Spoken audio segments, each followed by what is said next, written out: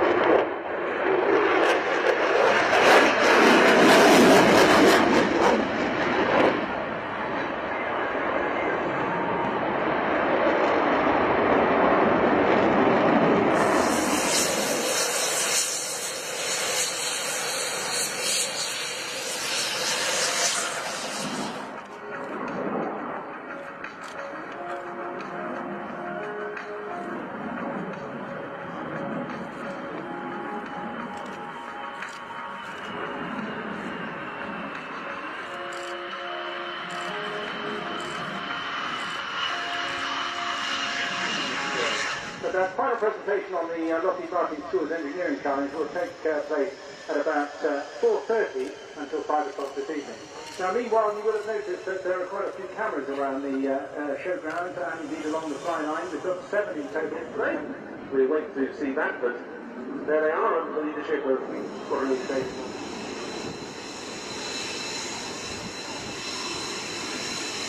So the formation elements now undecided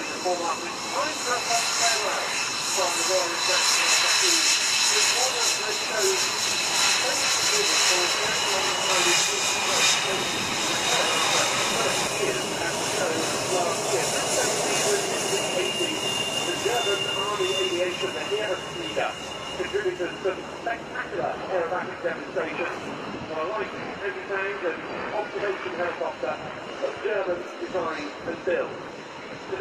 it makes its final appearance at a major international air show in German Army House. Here we have the Metric Virtual Blue, Ball 105 P1.